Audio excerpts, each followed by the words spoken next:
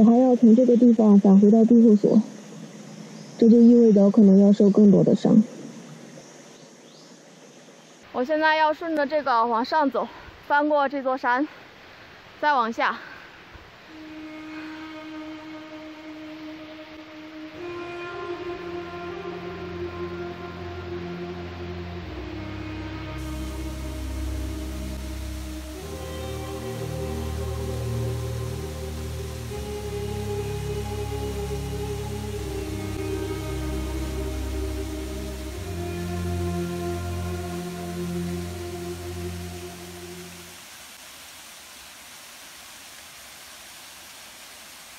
我现在来到了这个断崖这里，这个地方是一个断崖，根本就爬不上去，然后四周都非常的陡峭，我只能绕开这座山了。啊！本来我想着沿着溪流可以更快的回到庇护所，没想到走到这里的时候被这个瀑布挡住了，现在想要爬上去根本就没有可能，所以我现在不得不往回走。再去找一个能够爬上去的地方。本来想着可以省点力气，没想到偷鸡不成蚀把米。现在真的是南辕北辙了。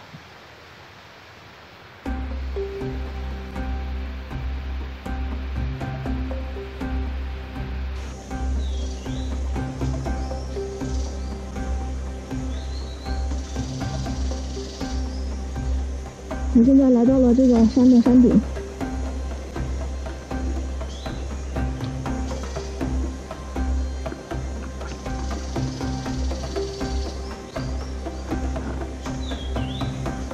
下面是一条小溪，这个下面也有一条小溪。因为这里降水量比较充沛的原因，基本上每一条山谷都会有小溪。你现在已经不知道我的庇护所是在哪条小溪的旁边。嗯，是这边，还是这边，还是那座山的那边？哦，我好像迷路了。我再往下走走看看。啊！嗯，我的天！啊！我，哦，哦哦！这个瀑布断崖的范围完全超出了我的想象，它的范围太大了。为了绕开它，我不得不多走很远的路程。我只能朝着庇护所的方向一直翻山越岭。比早上来的时候多走了更多的路。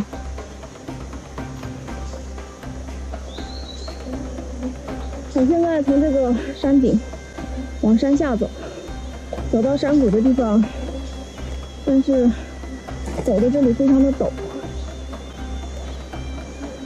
尽量走之字形的，这样可以减缓一点坡度。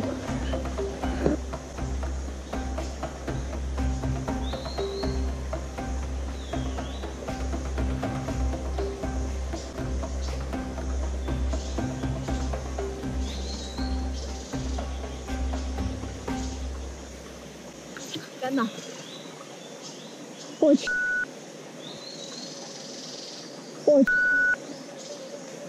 我竟然在这里发现一把枪！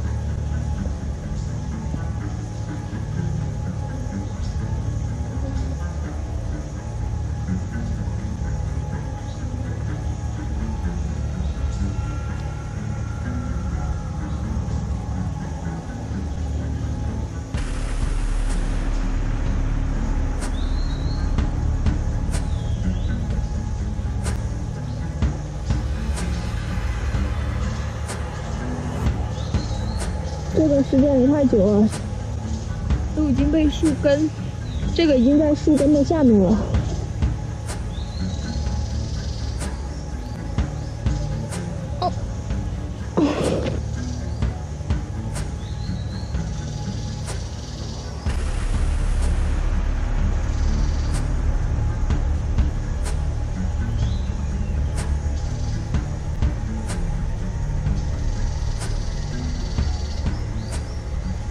在这里捡到一把枪！我来了丛林这么多天，我有时候光着脚，有时候穿着鹅边的草鞋，我踩到叶子，我踩到树枝，我踩到石头，我都会有很明显的感觉。但是刚才踩到这个枪的时候，跟平时的感觉完全就不一样，感觉特别的硬。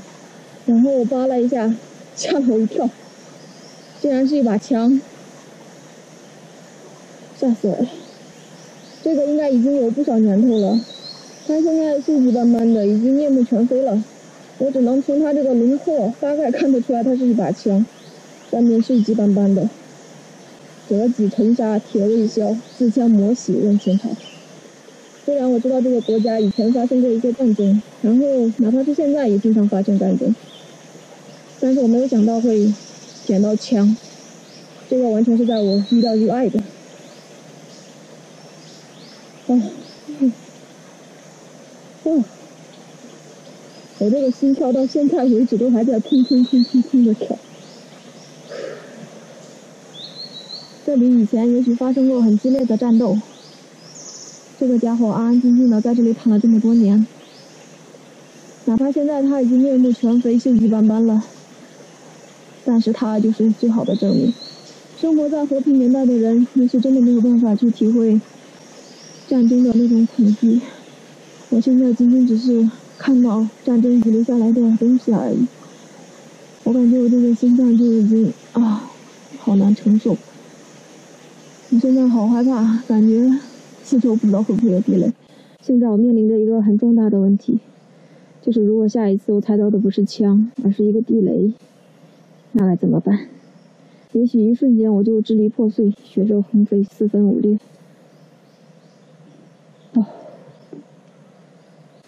发生过战争的地方有地雷，并不会很稀奇。我在进山之前。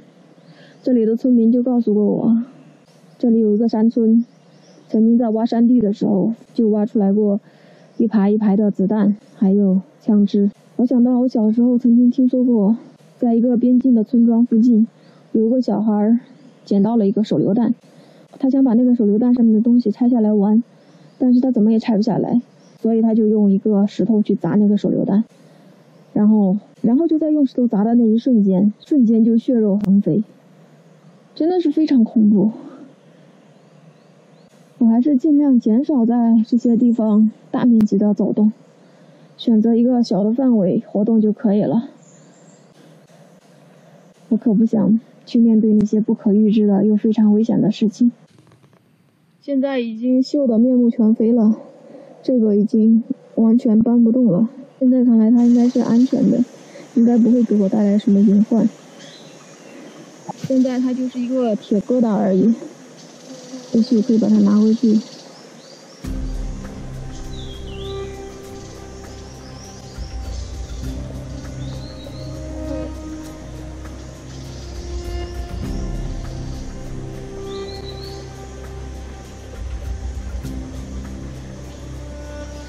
这里有一段很平整的沟坎，这个一看就是很明显的人工的痕迹。现在已经长满了青苔杂草，这个地方以前应该是一个沟壑，不过现在都已经被填平了，嗯，还挺长的。